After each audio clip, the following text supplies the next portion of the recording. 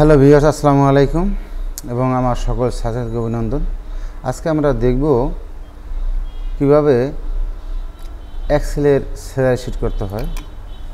তো আমরা সবগুলো সাবজেক্ট সাবজেক্টের বিষয়গুলো দেখব এখানে। তো আমরা এখানে আগে একটু রেডি করে আমরা অঙ্কটা ওখানে উঠে রেখেছি। আর এটা আপনারা নিজেরা একটু উঠে নেবেন। আজকে আমরা সূত্রগুলো কীভাবে এখানে কাজ করতে হবে সেটা আমরা দেখব। তা সবাই একটু লক্ষ্য করেন। হ্যাঁ এবং সবাই স্ক্রিন দিয়ে তাকান। তা আমরা প্রথম দেখতে পাচ্ছি সেখানে লেখা আছে যে আমাদের roll number register number Bangla, ইংরেজি। তো এখানে লেখা আছে আমাদের English first part, second part, এভাবে লেখা আছে এখানে, math, physics, chemistry, political science ইত্যাদি ইত্যাদি তো আমরা এখানে দেখি টোটাল। এই টোটালের ঘরে প্রথমে আমাকে যোগ করতে হবে। তা যোগটা কীভাবে করতে হবে আমরা দেখে নিই। তো প্রথমে আমরা এখানে লিখব সমান সমান S U M sum. First bracket দিবেন। তারপর এখানে প্রথম সংখ্যাটু শেষ সংখ্যা। আমার যেই পর্যন্ত আমি অঙ্কটা লিখেছি, যেমন আমাদের সাবজেক্টটা যেখানে আছে আছে এখানে ডি ফোর এখানে ইস টু দিবেন। এখানে সবসময় ইস টু চিহ্নটা দিবেন। ইস টু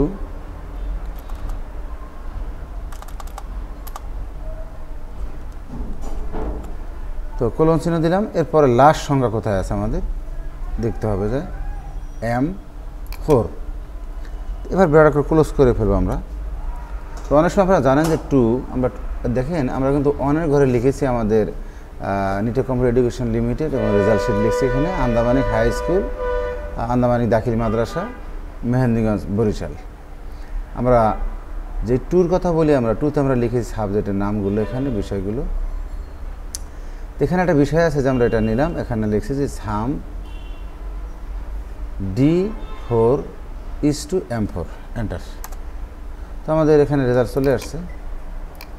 ওকে এবার আমরা দেখতেছি এখানে দুইটা সাবজেক্ট অপশনাল এটা আমরা অপশনালটা একটু ক্রস করে দিব এখান থেকে। এখানে লিখব অপশনাল লিখব আমরা।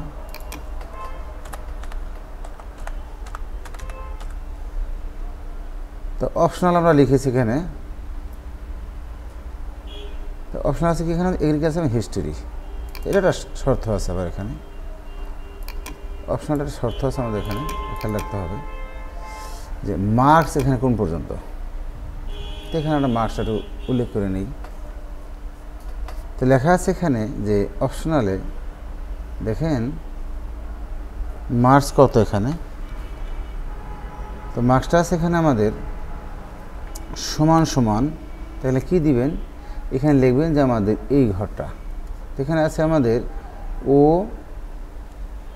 আমরা লিখব এখানে, O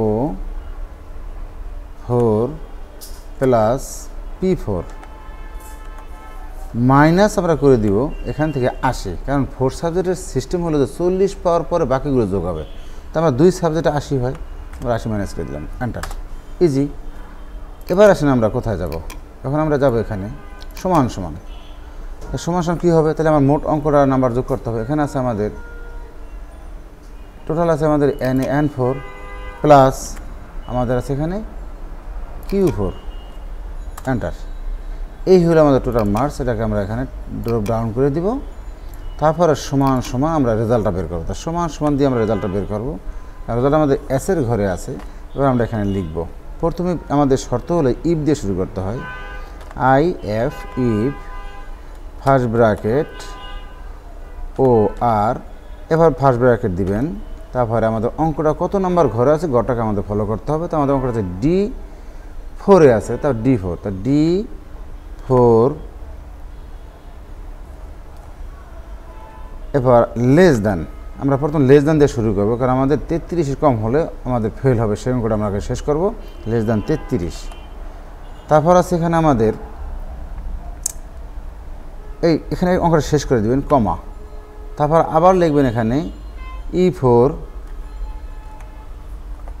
E four less than তেত্রিশ, আবার কমা একইভাবে আপনি এখান থেকে লিখতে লিখতে আমরা শেষ করে ফেলবেন। তো আমরা লিখব এফ ফোর লেস দেন তেত্রিশ কমা তারপর আমরা জি ফোর লেস দেন তেত্রিশ কমা এবার লাগবো এইচ ফোর লেস দেন তেত্রিশ কমা। তারপর আমরা লিখব এখানে আই ফোর লেস দেন তেত্রিশ কমা। তারপর এখানে আমরা লিখব জে ফোর লেস দেন তেত্রিশ কমা। তারপর আমরা লিখব কে ফোর লেস দেন তেত্রিশ কমা এবার আছে আমাদের এল ফোর লেস দেন তেত্রিশ কমা তারপর আছে আমাদের এম ফোর লেস দেন তেত্রিশ কমা তারপরে আছে আমাদের এখানে একটা ব্র্যাকেট, আমাদের ব্র্যাকেট ক্লোজ করতে হবে। তো আমাদের ব্র্যাকেট ক্লোজ করে নিলাম, তারপর আমরা একটা কমা দিব এখান থেকে। কমা দিই এই হলো আমাদের অঙ্কটা শেষ। তারপর আছে এখানে কি আমাদের? Double quotation app double quotation, তারপর আবার কমা। এই হলো একটা অঙ্ক শেষ আমাদের ফার্স্ট অঙ্কটা শেষ। তারপর হলো আমাদের, তারপর হলো আমাদের এখানে দেখতেছি আবার ইফ ইফ ফার্স্ট ব্র্যাকেট এবার হলো আমাদের রেজাল্ট তাহলে আর এর ঘরে আমাদের রেজাল্টটা আছে, তাহলে আর ফোর তো আর ফোর এখান থেকে আমরা এবার গেটার দান নেব, সমান সমান আমাদের যে আটশো নাম্বার হয়, তাহলে আমরা পাবো কত? এ প্লাস তাই আমরা আটশো লিখলাম ডাবল কোটেশন ডাবল কোটেশন এবার আমরা দিব এখানে A plus double quotation comma A হলো আমাদের একটা অঙ্ক শেষ। তো আমরা একটা অঙ্ক এখানে শেষ করে দিলাম।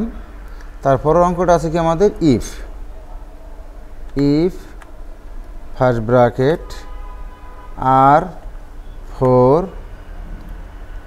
greater than সমান সমান, আমাদের লিখতে হবে সাতশো। কমা double quotation A double quotation কমা। এরপরে আবার লিখবেন এখানে, এটা আমাদের শেষ হয়ে গেল। তারপরে আছে আমাদের if I F if first bracket R four greater than সমান সমান। আমরা এবার লিখব ছয়শো, কমা ডাবল কোটেশন এ মাইনাস তারপর আছে আমাদের ডাবল কোটেশন শেষ করতে হবে অঙ্কটা। এটা খেয়াল রাখতে হবে আপনাদের সবার। তারপর আছে এখানে আমাদের ইফ ফার্স্ট ব্র্যাকেট তারপর আছে আমাদের আর ফোর গ্রেটার দ্যান সমান সমান, পাঁচশো। তারপর কমা তারপর আছে এখানে আমাদের double quotation B double quotation কমা আবার আছে if first bracket R four greater than সমান সমান, চারশো কমা double quotation C double quotation comma if first bracket R four greater than সমান সমান তিনশো তেত্রিশ। কমা, এটা হবে ডি। তারপর আছে কমা, আবার ডাবল কোটেশন, এফ, আবার ডাবল কোটেশন। পরে আমরা ব্র্যাকেট শেষ করে নিব। তাহলে আমাদের ব্র্যাকেট কটা হয়? এক, দুই, তিন, চার, পাঁচ, ছয়, সাতটা ব্র্যাকেট হবে। তার মানে হলো ইফ যে কটা আছে, আমরা অঙ্কটা দেখতে পারতেছি যে ইফ কটা আছে। তো ইফ আছে এক এক দুই, তিন, চার, পাঁচ, ছয়, সাত। এবার আমরা এন্টার করে দিব, আমাদের রেজাল্ট চলে আসছে। তো আমরা এই দেখলাম কীভাবে রেজাল্ট তৈরি করতে হয়, এটা হলো আমাদের রেজাল্টের সিস্টেমটা ওকে তো আমরা আজকে দেখতে পেলাম যে কীভাবে আমাদের এসএসসি রেজাল্ট শেষ করতে হয়। ওকে সবাইকে অনেক ধন্যবাদ। আজকে এখানেই শেষ। আল্লাহ হাফেজ।